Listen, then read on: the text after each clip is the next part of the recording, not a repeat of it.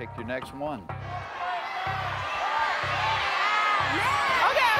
I'm gonna go with the first grade question again. You know, since I got that one it's so quick, you know, I'm gonna go with first grade astronomy. First grade astronomy.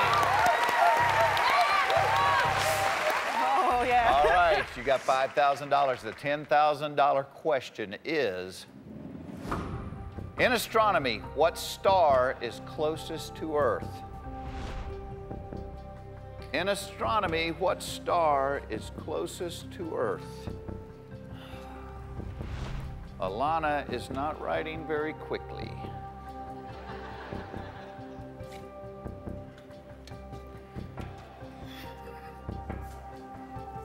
What you thinking, Lakisha?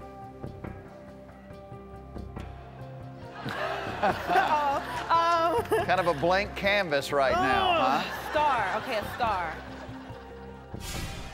Your classmate locked in their answer. So, is the sun a star? I don't know. Is that considered a star? Not a planet. Sun's not a planet. Maybe you were absent on this day in the first grade. I probably was.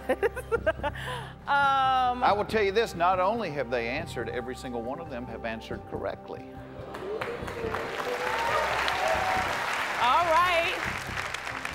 All right, Lakisha, we need an answer in astronomy. Okay, what star say- is closest to the Earth? I'm gonna say the sun.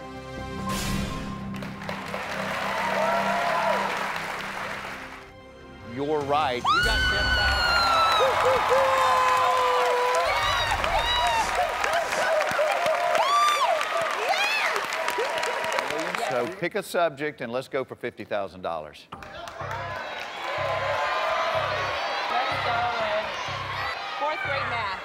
Fourth grade math, Yes, she grade said. Come on. Is math a good subject for you, Jacob? It's my best subject. Your best subject. Oh, Whoa. yes. All right, for $50,000, here's your fourth grade math question. How many sides are there on a trapezoid? Oh, what? What is that?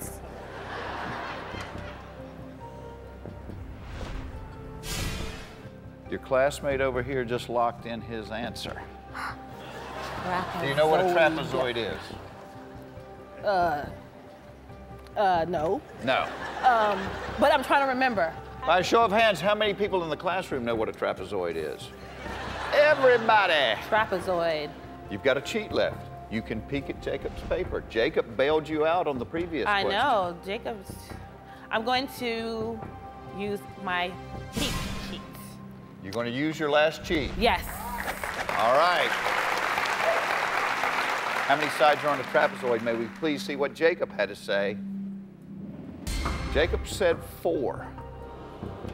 Doesn't a square have four sides? A square has four sides. Why would they call it a trapezoid? Well, that, that, that don't make sense. Or no, maybe. Don't forget, Jacob's only 10 years old. He still has to ask for another cookie. All right. I'm going to, since, you know, I, I trust Jacob, he helped me get 25. So I'm going to go with his answer and say four.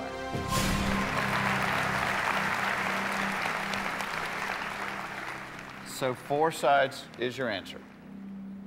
Uh, yeah. I will tell you this, Lakisha. Oh, God. A trapezoid has a total of two parallel sides. It also has two non-parallel sides. And that equals four sides, and you got $50,000.